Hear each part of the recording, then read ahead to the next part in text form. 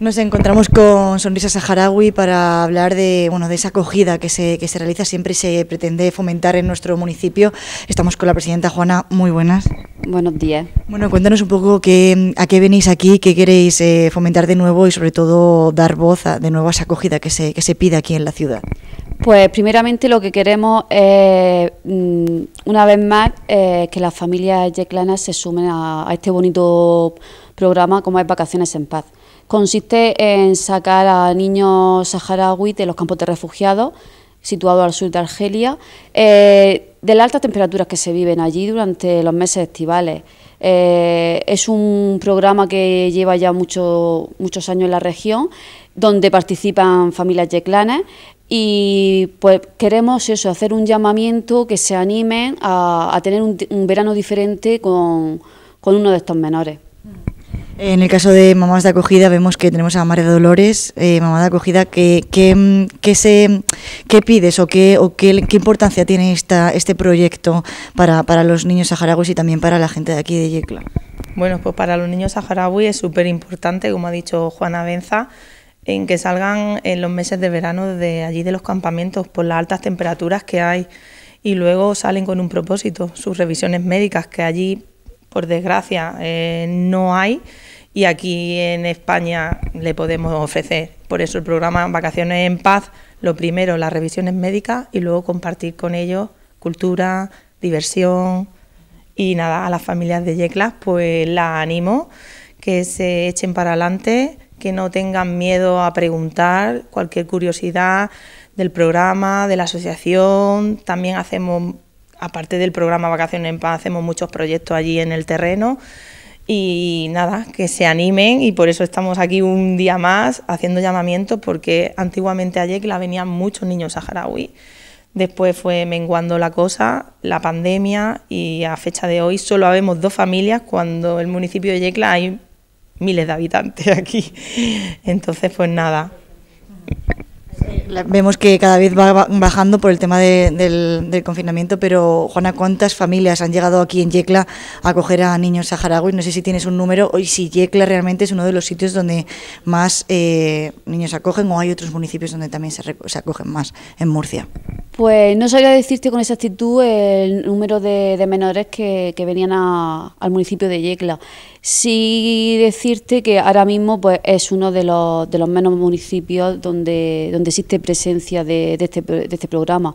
Eh, sabemos que las circunstancias de vida van cambiando, eh, todos tenemos unas obligaciones, pero sí que es verdad que con un poco de esfuerzo y, empatía y, mucha generosidad eh, podemos hacer un verano diferente a estos pequeños saharauis.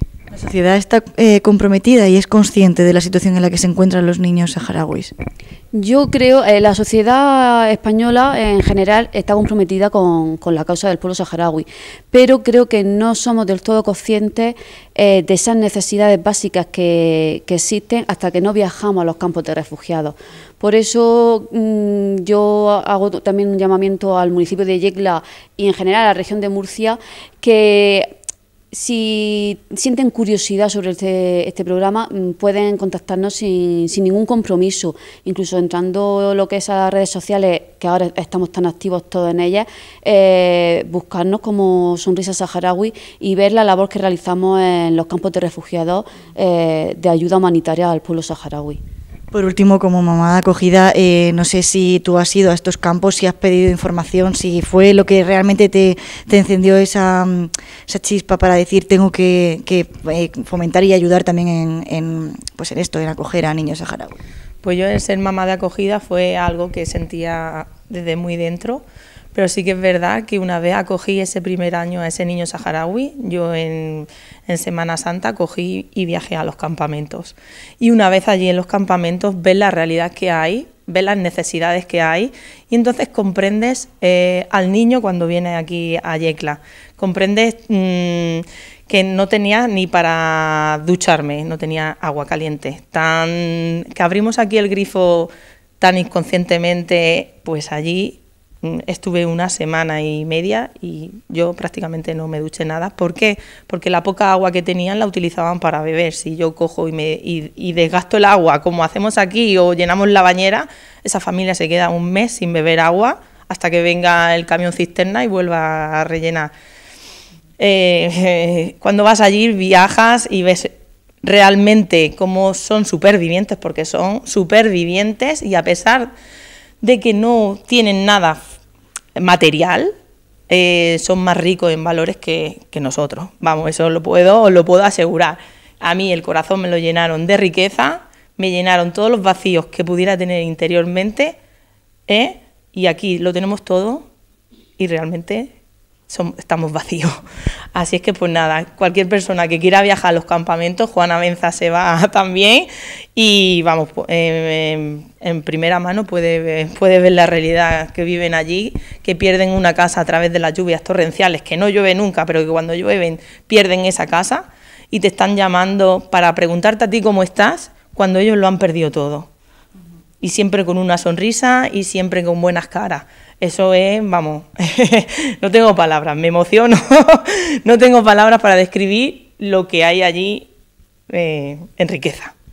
Bueno, Patricia, desde la Concejalía de Política Social, ¿cómo se ayuda ¿no? a, estas, a estas asociaciones de Sonrisa Saharaui para que los ciudadanos de Yecla pues, participen, acojan a estos niños que se encuentran en unas condiciones pues, malas, como bien hemos podido escuchar? Efectivamente, hay que comprender que estos niños tienen unas necesidades vitales enormes, ¿sabes? Necesidades como, como no tener agua, eh, el alimento no es el mismo, educación no tienen y ellos, como estaba comentando una madre, encima son felices o por lo menos lo parecen.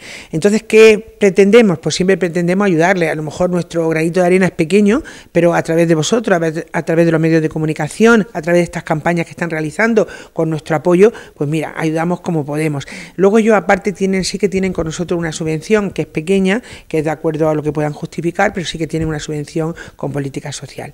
Y nada, pues yo desde aquí también aprovecho, como han hecho las madres, y además lo han hecho porque lo han vivido en primera persona, tanto en el campamento como aquí en Yecla, pues aprovecho pues para hacer un llamamiento, por si alguna familia más quiere compartir, ¿no? compartir este proyecto, quiere traer a algún niño, quiere que este niño se sonría y que esté en esas vacaciones de paz de las que tanto hablan. ¿no?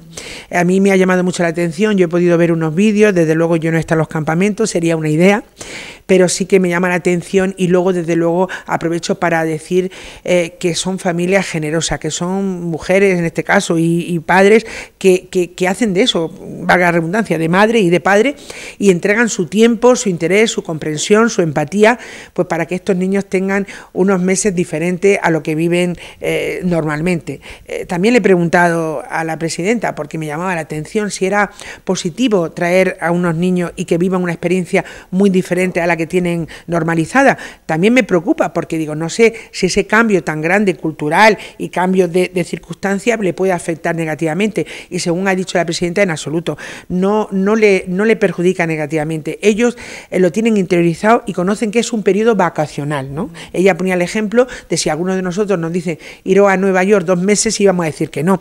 Pues diríamos que sí, aunque cuando llegásemos aquí notásemos un cambio. ¿no? Quien dice Nueva York, quien fuera.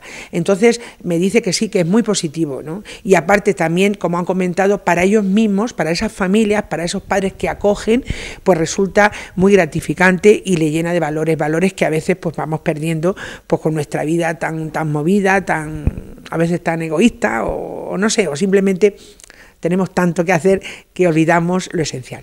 Vamos tan deprisa, ¿no? Que creo que es el momento, concejala, de abrir, ¿no? Esa parte humanitaria de todos. Exactamente. Yo comprendo porque me puede pasar a mí y a cualquiera que todo el mundo no tiene una circunstancia que te hagan acoger a estos niños. Eso es, es así. Pero bueno, siempre habrá alguna familia que lo esté oyendo en este momento y que diga, sí, mira, yo voy para adelante, voy a probar, voy a probar este año y como dice María Dolores, ha repetido ocho.